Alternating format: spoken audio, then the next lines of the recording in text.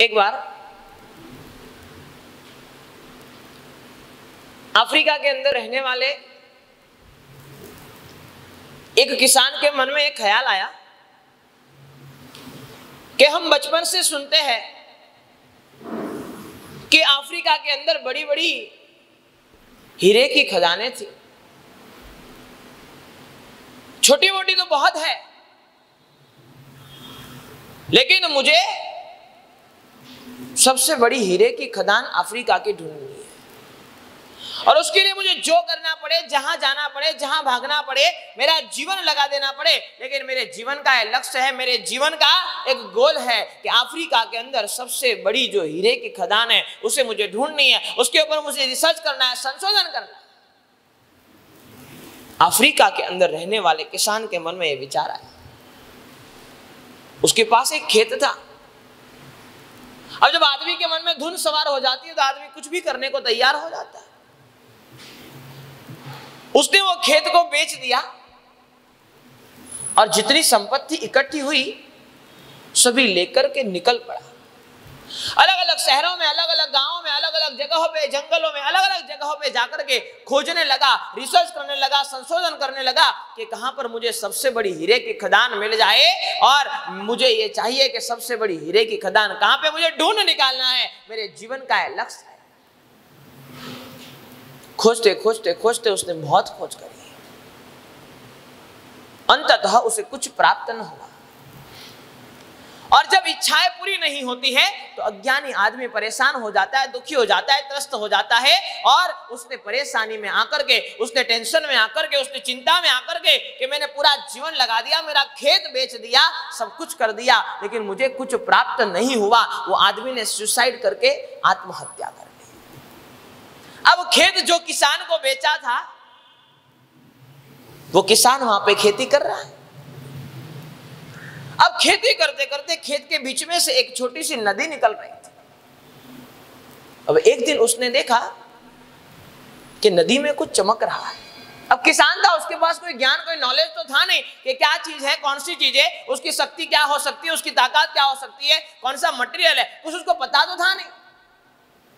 लेकिन उसको यह लगा कि चमकदार कोई चीज़ है, उसने नदी में से उसको निकाला, निकाल करके अपने घर में ले जाकर के सजा दिया। बात समझना, पति की बातें समझने की कोशिश करना।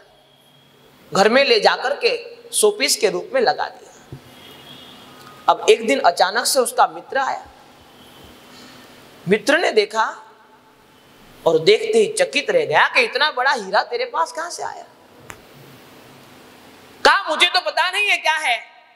क्या है, क्या नहीं, मैं जानता नहीं हूँ, मुझे पता नहीं है। मुझे नदी में से मिल गया तो एक पत्थर चमकदार था, और वो चमकदार था, इसीलिए मैं उसको लेकर के आया और ले जाकर के सोपिस में लगा दिया। मित्र थोड़ा पढ़ा लिखा था, एजुकेटेड था, उसने कहा, चल, खेत में चलते हैं। खेत में गए। नदी में थोड़ा रिसर्च किया, थोड़ा ढूंढा, दो पाँच, दस पत्थर मिल गए। उसने कहा कि मैं इसको शहर में लेकर के जाता हूँ। उसका जो रिज़ल्ट आएगा, तुझे बताओ रिसर्च करवाया तो पता चला कि ये तो हीरे हैं। और पूरी टीम को लगा करके जब वहाँ पे पूरा संशोधन, पूरा रिसर्च किया गया तो पता चला कि यही खेत के नीचे हीरे की खदान है। और इतिहास ये कहता है, मैं आपको बताना चाहता हूँ, नाम के साथ में इतिहास ये कहता है कि आज तक दुनिया में जितनी भी हीरे की खदान मिली, उसमें सबसे बड़ी हीरे की खदान अफ्रीका में मिली। उसका नाम था किम्बरली डायमंड माइन। वो सबसे बड़ी उसके अंदर से 2700 किलो हीरे निकले। दुनिया की सबसे बड़ी हीरे की खदान वो कहाँ से निकली? जिसके ऊपर वो किसान रोज खेती करता था और उसको बेच करके वो पूरे अफ्रीका में घुमा। कहीं पर खदान नहीं मिली, लेकिन मिली कहाँ से? जो उसका खुद का था, उसके अंदर से। शास्त्रकार भगवंत में यही तो कहते हैं, हम यही तो पागलपन करते हैं। हम यही मूर्खता प्रतिदिन करते हैं। हमारे पास जो है, उसको निकाल देते हैं, उसको हटा देते हैं, उसको बेच देते हैं और दुनिया भर में भटकते हैं। मुझे ये मिल जाए, मुझे ये मिल जाए, मुझे ये मिल जाए। लेकिन ये किम्बरली डायमंड माइंस की स्टोरी हमें बताती है। कि समझ लेना? जो है भीतर है, जो है हमारे पास है, खुद का खेत बेच के पूरे अफ्रीका में घूम लिया, कुछ नहीं मिला। लेकिन मिला कहाँ से? अंततः खुद के खेत में से। ऐसे ही चार हीरे हमारे पास, हमारे जीवन में हम लेकर के बैठे। चार अद्भुत हीरे हमारे जीवन में हम लेकर के बैठे। कहा, सबसे पहले नंबर में सुख नाम का हीरा। वो हमारे पास, हमारे भीतर।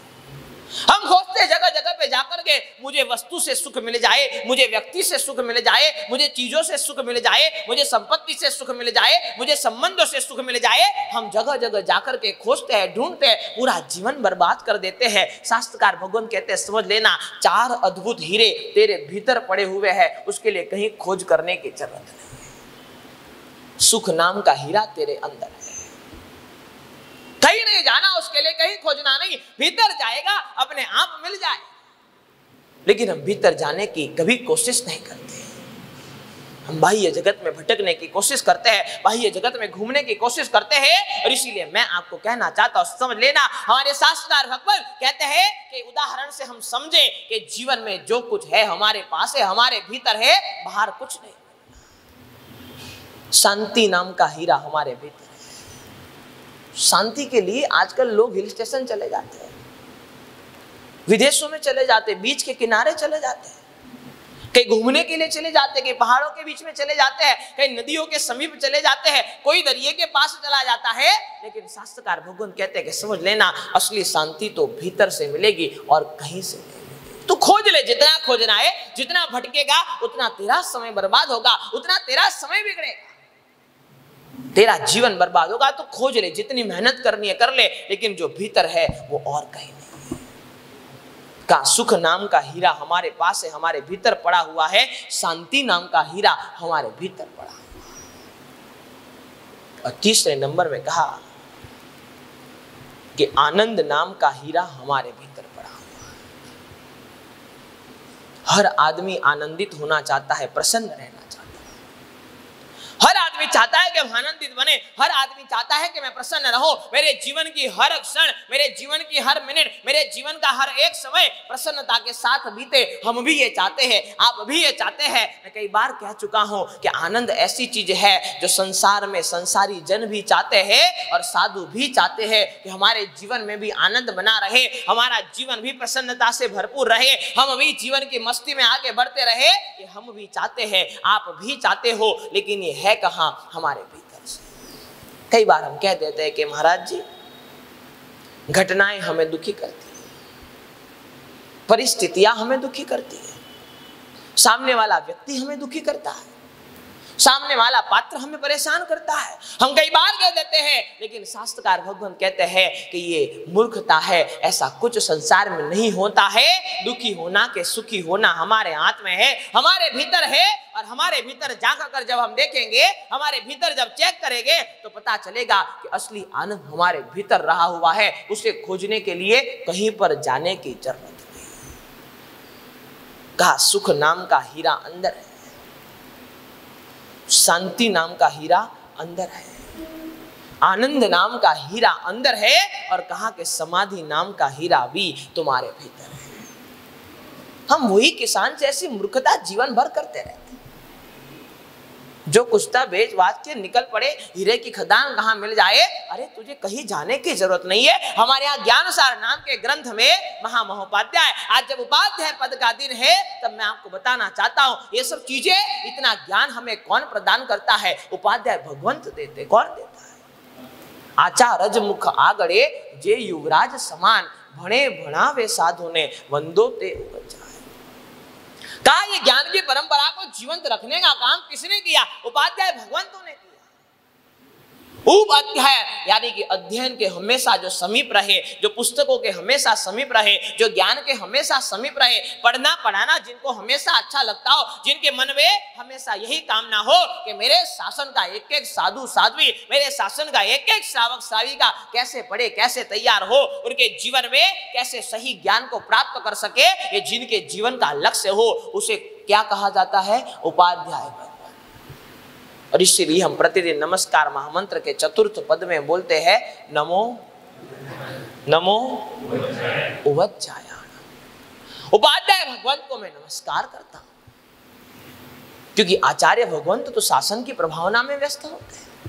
शासन की धुरा संभालने में व्यस्त होते हैं, शासन को सजाने में शासन को आगे बढ़ाने में, शासन के लिए क्या करना, क्या नहीं करना, ये सब चीज़ों में व्यस्त होते हैं। लेकिन उपाध्याय भगवंत का कार्य है, साधु साध्वी जी भगवंत को अध्ययन कराना, उपाध्याय भगवंत का कार्य है कि जीवन में जो भी उनके पास आवे, उसको ज्ञान प्रदान करना, ये उपाध्याय भगवंत का कार्य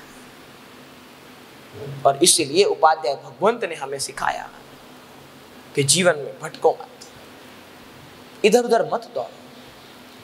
हम पूरा जीवन यही करते रहते पूरा जीवन भागते रहते हैं। इधर से उधर, इधर से उधर, इधर से उधर। हम भागते रहते हैं, भटकते रहते हैं। उपाध्याय भगवंत कहते हैं कि नहीं, तेरे भीतर ये चार हीरे पड़े हुए हैं और ऐसा अद्भुत चौथे नंबर का समाधि नाम का हीरा भी तेरे भीतर है। तेरा मन तय करेगा कि तू समाधि में रहेगा कि असमाधि में रहेगा? तू साता में रहेगा कि असाता में रहेगा? तेरे मन में समाधि बनी रहेगी या नहीं बनी रहेगी? तेरा जीवन शांतिपूर्ण तरीके से चलेगा या नहीं चलेगा? तुझे सुख की अनुभूति होगी या नहीं होगी? तुझे आनंद प्रसन्नता मिलेगी या नहीं मिलेगी, ये कौन तय करता है? हम खुद तय करते हैं। इसीलिए शास्त्रकार भगवान कहते हैं, निश्चित तौर पर समझ लेना, जीवन के अंदर ये किसान के जैसी मूर्खता मत करना। उसके पैरों के तले किम्बरली डायमंड माइन, दुनिया की सबसे बड़ी हीरे की खदान थी, लेकिन वो पूरी दुनिया घूमते रहा कि मुझे कहाँ से मिल जाए, कहाँ से मिल जाए, कहाँ से मिल जाए। मैं भी आज उपाध्याय पद के दिन आपको यही बताना चाहता हूँ कि ऐसी मूर्खता मत करना जो है हमारे भीतर है।